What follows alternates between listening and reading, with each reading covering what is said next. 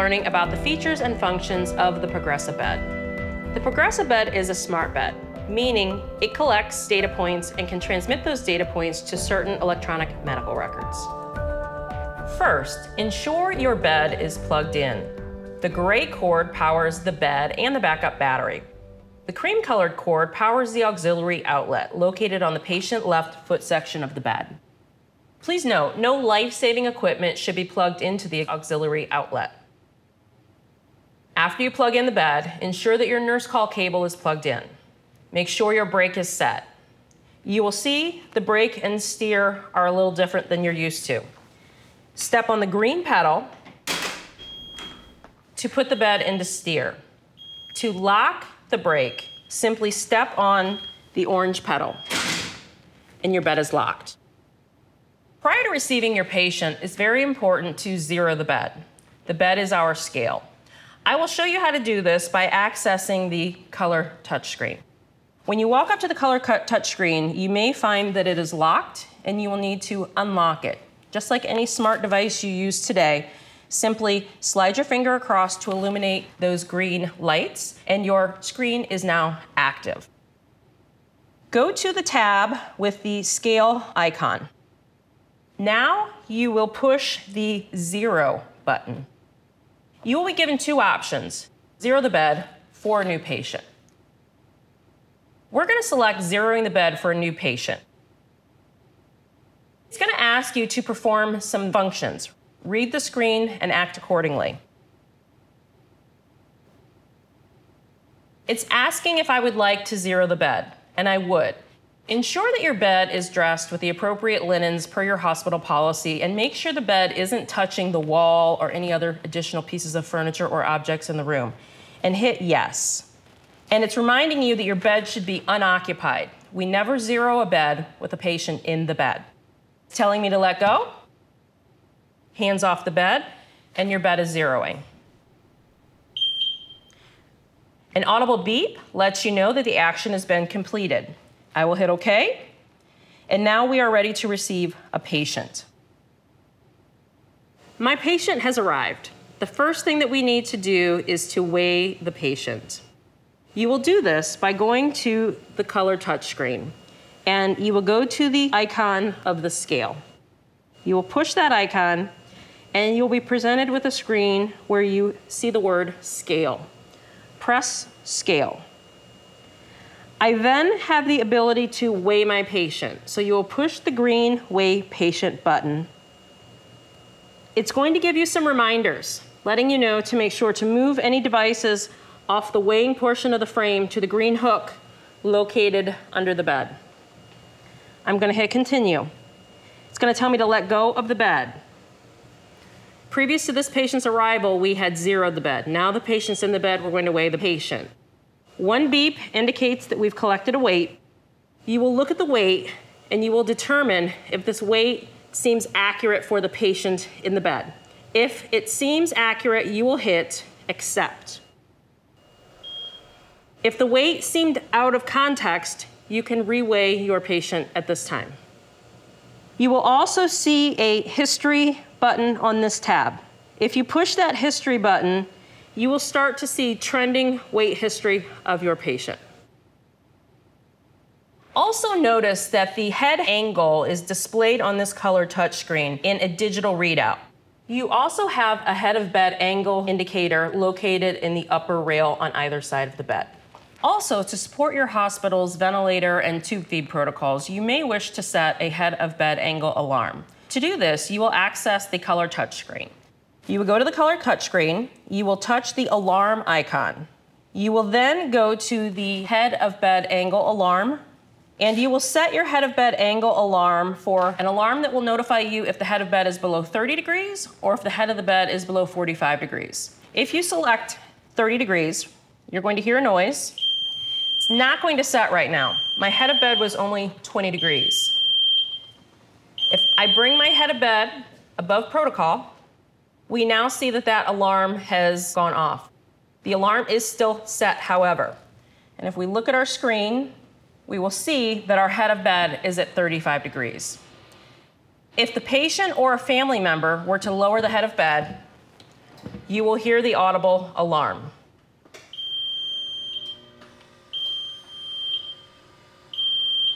As a caregiver, you can enter the room and, and, turn the alarm off, or you may come in and bring the head of bed back into protocol. When you receive your patient and the patient is placed in the bed, assure that the patient's hips are lined up with the hip alignment indicators. This is important. Also, there is a feature on the bed called FlexiFoot. FlexiFoot is this button right here. It is a powered bed extender built into the bed. You're going to lengthen the bed for your taller patients and then shorten the bed for your shorter patients. Let me show you.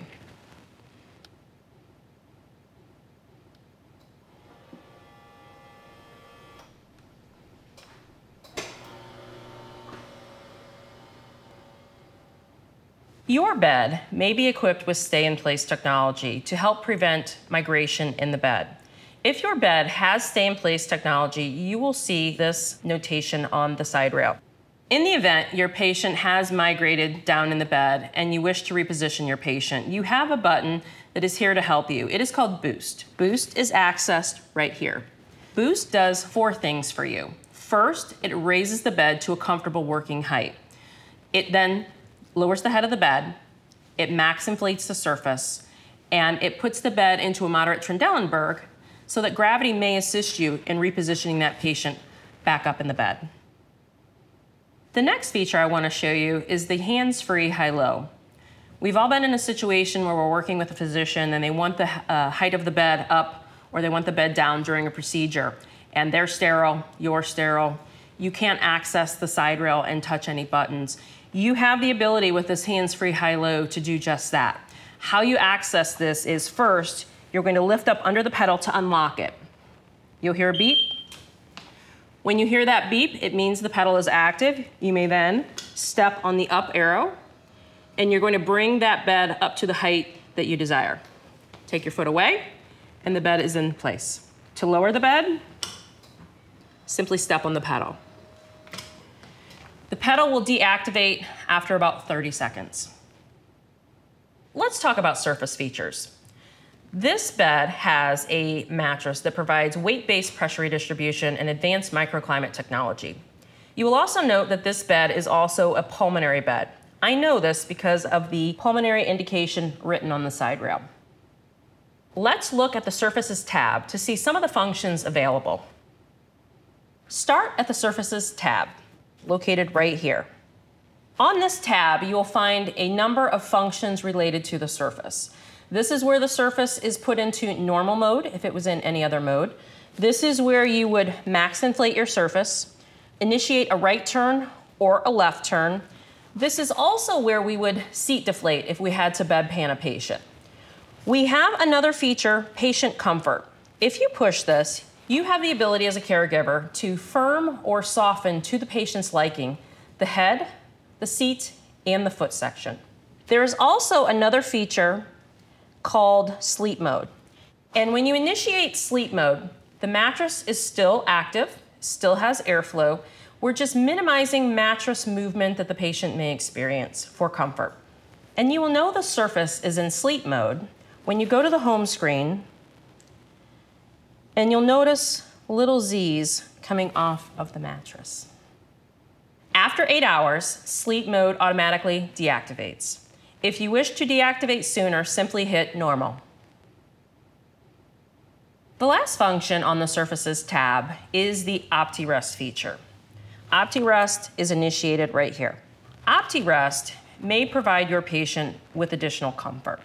What OptiRest is doing is systematically inflating and deflating independent air bladders from the head of the bed towards the foot in a slow, rhythmic, wave-like motion. To disengage OptiRest, simply push normal. If you're lowering your bed and there is anything under your bed that causes an obstruction, you will hear three chirps. And you will notice on your screen a visual indicator telling you that there has been an obstacle detected. Once you have investigated and removed that obstacle, you may close the screen. You may then continue to lower your bed. Now we're going to talk about the pulmonary therapies provided by the Progressa bed. The pulmonary therapies are activated on the color touchscreen on the tab with the picture of the lungs. When you open this tab, you're going to see the ability to enter a rotation mode or a percussion and vibration mode. Let's explore the percussion and vibration mode. Here, you have the option of selecting some preset settings for percussion and vibration. You may also create custom settings right here.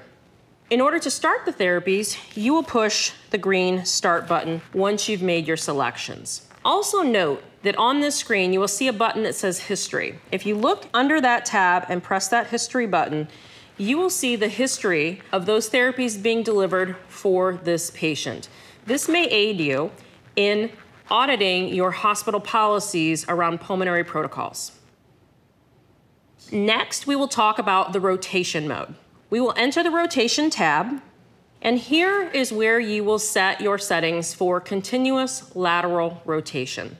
You have the ability to select from predetermined modes. You also have the ability to create your own custom settings right here. Once you've selected a setting that you wish to proceed with, you then have the option of pushing a training mode button, which is located right here. You will say training mode yes or training mode no. What training mode will do is start the therapy at 50% of what you've prescribed. And every hour, it will increase the turn by 10%. Additionally, on the rotation tab, you will also find a history button. This history button will let you audit how often the patient was in rotation mode to audit for your hospital policy adherence. If you have any questions, simply push the question mark button located in the bottom right-hand corner of your color touchscreen. It's the icon right here. If I push that, it brings up various bed functions. You can tap one of the bed functions to learn more about that function. I'm gonna tap patient restraints. It shows me icons and identifies the restraint attachment points. If your patient requires a chest x-ray, it can be done on the Progressa bed. The Progressa bed also has a radiolucent head section. In order to position your patient for an x-ray, raise the head of the bed. As I do this, I also can push this button here, which is a max inflate button. When the patient's properly positioned, you may lower your rail and access the x-ray cassette sleeve.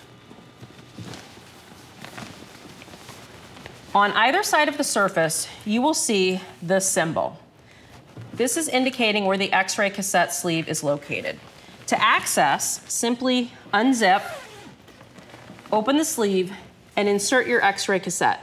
When your X-ray is complete, remove your X-ray cassette and do not forget to zip up the X-ray cassette sleeve. We have determined that this patient is at risk for falls. I'm going to activate a bed exit alarm for this patient. Simply go to the color touchscreen, go to the alarm icon, which is the bell. At this tab, you'll then want to go to bed exit. You will see three different sensitivity levels, positioning, exiting, or out of bed. Select the sensitivity level most appropriate for your patient. I'm going to select exiting for this patient. One beep lets me know that the system is armed along with the screen. And I also know on the home screen that I see bed exit is on on my left-hand side and I have a bell that is illuminated green. Now, I need to work with the patient. I am going to silence the alarm so that I may work with this patient. In the bottom left-hand corner of the screen, you will see an icon that is a bell with a dotted X. When I push that button, I receive several choices. I can resume bed exit, I can turn bed exit off, or I can suspend bed exit for approximately 10 minutes. That will give me the time I need to work with my patient without having to turn bed exit off. In the event I leave the room, after that bed exit timer times out, the bed exit alarm will automatically reset. When your patient is ready for early mobility, you may begin with increasing the head of bed to acclimate to upright positioning. Next, you can select the tilt feature located right here. This will also help with getting your patient accustomed to upright positioning. I'm going to simply press and hold the tilt button.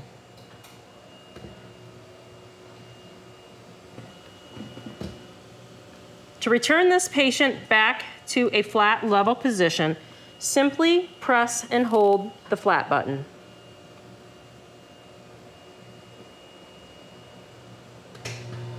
When you're ready to advance your patient's mobility, we will use the full chair feature to allow for upright seating with lower leg dependency, all while keeping the patient on a pressure redistribution and advanced microclimate technology surface. When your patient is ready, explain the procedure to your patient. Then you can use the chair feature to get your patient into an upright seated position. You can access the chair feature on the side rail. You may also access the chair feature here on this caregiver pendant. In order to use this pendant, I will hold the key to activate. You will hold this for five seconds. Once that green key is lit, it indicates that this caregiver pendant is active. I will simply push and hold the chair button. You will see the bed moving through its articulations to put the patient in an upright seated position. Ensure the patient is secure and explain the procedure to your patient. If at any time your patient uh, wishes for you to stop, simply let go of the button. You will then resume by pushing the button and holding. When you hear one audible beep, you know that you have achieved the full chair position. We have achieved full chair. When your patient is ready, you can use the chair egress feature to assist your patient in getting out of bed. In order to do this, once you've achieved full chair, you will take the footboard off the bed. The footboard can stand independently out of the way. You will then activate the chair button by pushing and holding. You may stand in front of the patient so that the patient has eye contact with the caregiver.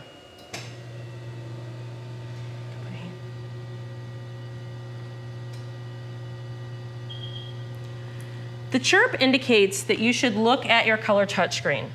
If you look at your color touchscreen, you will see that the seat is deflating and it tells you to let go of the chair button until you hear a beep.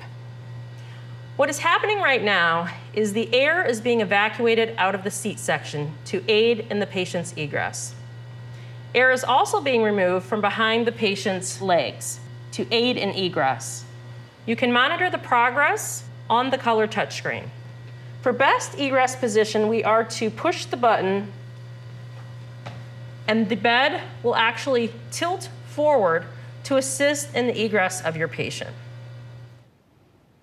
In this next step, to further aid the patient, we're going to continue to press and hold the chair button. What you will begin to see is the chair will tilt forward to help the patient plant their feet on the floor for a more stable egress.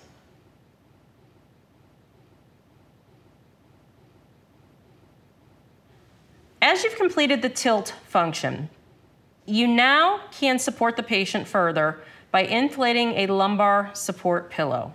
Continue to press and hold the chair button. You will notice a lumbar pillow begin to inflate behind the patient to help support the patient. Press chair button for egress, assist, or press bed flat. Now you may encourage your patient to stand.